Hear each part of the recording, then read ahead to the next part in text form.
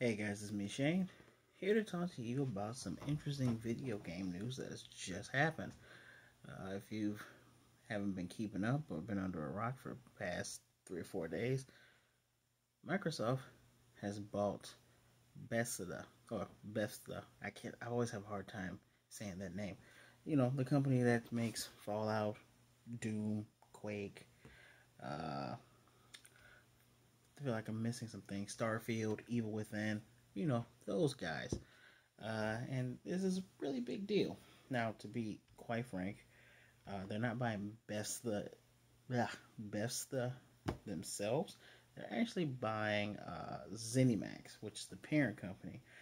And by buying ZeniMax, they don't they don't only just get Bethesda, they get four other uh, video game developers as well. I have uh, articles from I want to say NPR, from GeekWire, and I have another one from CNET. But I had to look up ZeniMax uh, Media, uh, and I just want to just tell you guys the developers they have. They have id Software. It makes Doom, Quake, Rage. Uh, the Arcane Studios, which makes Dishonor and Prey. Machine Studios, which makes Wolfenstein. Tango Gameworks, Evil Within, and of course, Bethesda and Bethesda stu- uh, Game Studios, Elder Scrolls, Fallout. Those are some really big names. So, how much did they spend on this? Well, Microsoft spent $7.5 billion to acquire this entire stable of game developers. And uh, it's, it's not even the biggest acquisition they've made. This is the third biggest acquisition. I believe uh, the first biggest acquisition made by Microsoft all time is LinkedIn, second is Skype. So this is number three. Uh, back in 2014, 2013, Microsoft bought Mojang, and Mojang, they're the ones who made Minecraft, the thing that everybody's still playing years later, and that was only 2.5 billion dollars, I want to say. Uh, just do some quick double checking. Yeah, it's yeah, 2.5, which is just that's a lot of money. That is a lot of money. So this comes uh, a little bit after uh, Sony's big debacle with people trying to pre-order PS5s and that not really going well. And actually, the uh, pre-orders for the Xbox Series X and the Xbox Series S, very difficult names, that actually went live on 22nd, which is as of the time of recording this video two days ago. And that kind of went the same way Sony did. People were sold out within minutes, but that's not really their fault. It's the nature of the beast when new consoles come out. And at least Microsoft gave people a good month. They were telling people when this was going to happen, as opposed to Sony's, which was just up in the air. But either way it goes, both of them were complete disasters, along with people wanting to get their PC processors, the uh, 3080, that that was sold out within a minute as well. I digress. Uh, this announcement comes after these things, and a lot of people are saying, "Wow, so that means that all these games that were coming on both systems by Bethesda, they're never they're, they're never going to show up on Sony." And some people also saying, "Well, that's not true. They still have to do you know, split platforms, which is only true for two games, uh, Deathloop, and there was another game uh, that escapes me. I'm gonna see if I can find it very quickly. I believe it was Deathloop, and another new game that's coming out uh, this console generation and into the next one. Uh, the announcement was made by Phil Spencer, and even Todd Howard uh, made it made some comments on Twitter saying, "No, we're not just gonna, you know." All our games aren't exclusively just going to be Xbox games. They will be split. And uh, even Angry Joe and uh, Maximilian, these they're, they're YouTubers and streamers who have commented on this. And if you were to ask me, do I believe that the games are going to be exclusive to Xbox or are some of the games that are going to go to PlayStation? I would say yes. You heard me correctly. I, I answered just yes. Because Microsoft at the moment, while they're trying to get you, while, while they would love for you to buy the Series X, which is 500, just like the PS5, or the Series S, which is two ninety nine. That's two hundred dollars cheaper than the uh, digital version of the PlayStation Five. They're more interested in you buying their game service. Xbox Game Pass, which has been hailed by many people who have Xbox Game Passes, one of the best things that's actually come out for gamers.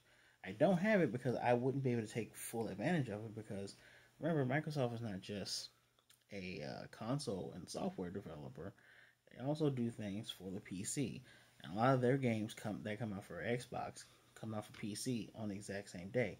What Xbox Game Pass is promising is that when these games get a physical release, the download that you can play will be on the exact same day, and the service uh, might be slight. Actually, I'll, I'll, I'll look it up through the magic of editing.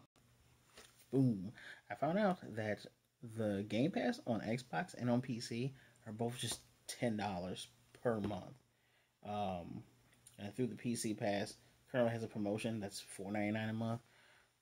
It has more than 100 games that are either on Xbox One and things that are coming up and on Windows 10. So that's $10 a month. You want to do some quick math? Let's do some quick math. Bust out the handy dandy calculator, right? So if you have 10 bucks a month and you times that by 12 months, that's $120. So, for $120 a year, you are able to play not just games that come out in this console generation or the next one. They're allowing you to play games that came out when the first Xbox came out and Xbox 360 because their systems are completely backwards compatible. This is the thing that they promised. I know PlayStation was they say 99% of PlayStation 4 games can play on PlayStation 5, which I'm going to touch on that a little bit towards the end. Try to make not try to make this video not too long, but that's actually a really brilliant deal, especially if you're a person that plays on PC or if you're a person that you know has an Xbox and you get a lot of mileage out of this thing. Xbox Game Pass is a thing that if Sony had if Sony were doing this exact same thing, they would be making so much money. And I know for a fact, or should I say, I deeply believe this is the way that Xbox is going. This is the way Microsoft is going. Because we've heard in the past that they believe that slowly consoles aren't going to be a thing, which I disagree on as well.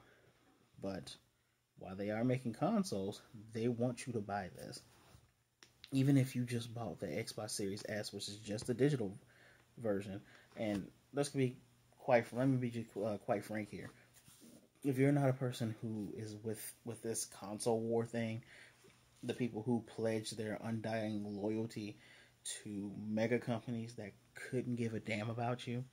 If you're not in that and you were just you just born today, a grown person born today, you got money and you want to buy a system, you want to get the most out of playing games, you would buy Xbox Series S and get a Game Pass with it.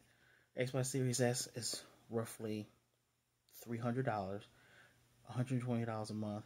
That's roughly around $420, cheaper than both of the disc version of the consoles, uh, only $20 more than the digital version of the PlayStation.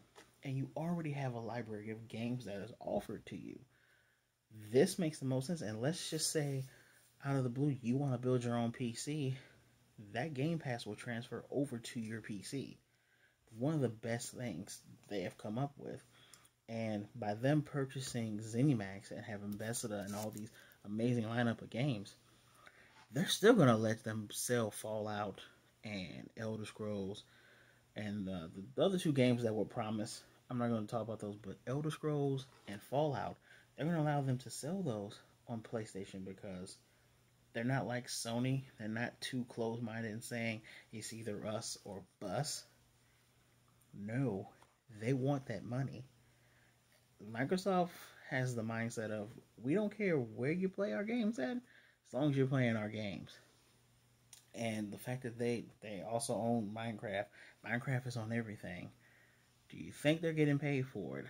Yes. I'm not even gonna let you my answer for you. The answer is yes, they're getting paid for it. this is what they want.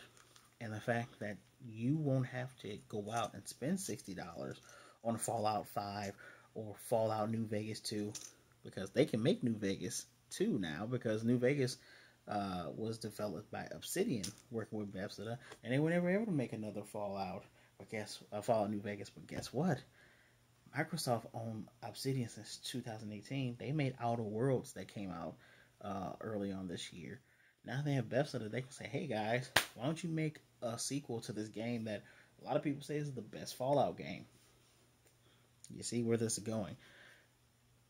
They got the games. They have the IPs. Now they don't have to pay for copyrights for using these games if they wanted to use these games on the Game Pass because we own them. Now we can just put them on there and people are going to buy this for this.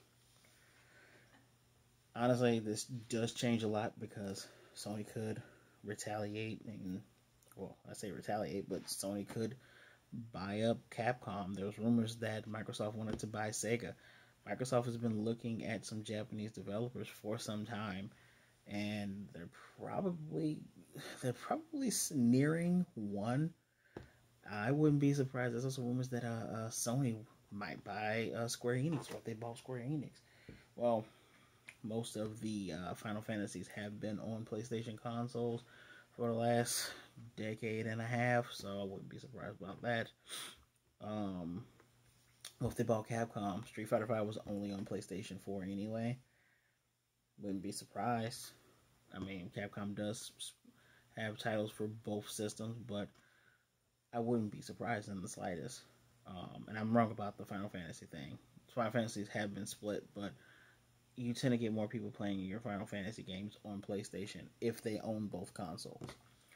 Um, there's also a rumor that they're gonna buy Konami. Someone's gonna buy Konami, and there's a Metal Gear Solid and Metal Gear Solid Two and Three remasters on the way, which is part of the reason why I wore this wonderful shirt. Got uh, got it at Shark Robot. Sponsor me, Shark Robot. Sponsor me. Anyway, that's pretty amazing if they do it. And Konami at the moment is only making pachinko machines, so they make money from gambling, and they also make medical equipment. Two really big things. I don't know if Sony's gonna buy them. Sony could. I fear. I fear more if Sony buys a Square Enix. That that is a big big hitter. That's a big play, almost like this. So, how do I feel about this news overall? pretty pretty interesting gaming news, if I'm going to be quite frank with you, for a lot of reasons I said before. Uh, I believe the thing I wanted to touch on was about Sony being stuck in some old ways. Sony rebuffed uh, what Microsoft had said years ago about just digital services being the future. Sony has actually tried, but they failed because when it comes to they have a PlayStation Now service on top of the the uh, PSN service, which is another, I want to say, it's between twenty to thirty dollars for you to play, for you to stream older games. Now you can stream these older games, but you cannot share play them, and I think there are some restrictions on you actually streaming them on Twitch or YouTube. And a lot of people who are thinking on the business side of it are going to say, obviously, they want to make money, so they're going to make you buy these older games. That's also why they're not doing backwards compatibility because forget the fact that you own this game already. Buy it again. And as a consumer, that's not consumer friendly. If you're thinking with a business mind, I see where you're coming from, but I'm thinking of like a consumer. That is one of the most selfish and such anti-consumer things to think of. And I've had people say, no, you know, I don't really care about playing my old games. What's the point of me buying the new one?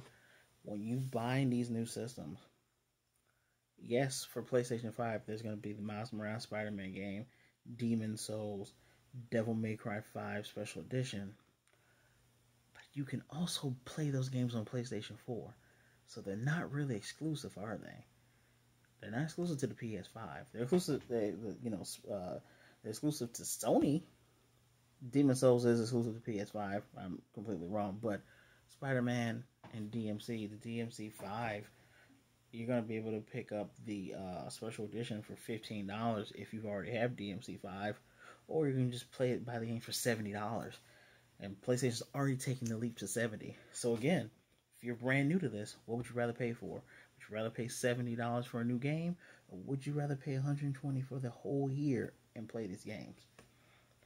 I'm a guy that follows where the games go. So if through some stroke of luck Microsoft was only had uh, they were the only ones getting Street Fighter, I would follow Microsoft.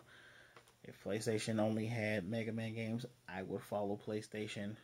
I I've gone on record as saying I will probably own a Nintendo console because I love Pokemon.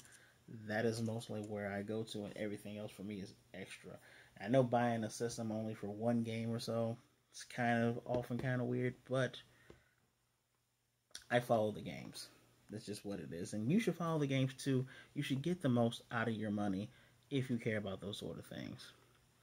Don't be fooled and don't be suckered to going just for Xbox or just for Sony or even just Nintendo when you when they're trying to tell you, well, you play Madden and that's the only game you play, but you gotta play it on Sony or you gotta play on a Microsoft system. No, get the most out of your money. Do what you want and do what's better for your wallet. That's just what I believe. So, guys, I hope you uh, hope you enjoyed this video. I'm gonna have the links down in the description below. Please remember to like, comment, let me know what you think. Subscribe to the video, hit the notification bell so you can be notified about more videos like this. Share the video so we can show other people how great I'm doing at giving you guys good news and letting you know my piece on it. So please be good, be blessed wear a mask, Black Lives Matter, and I will definitely see you next time.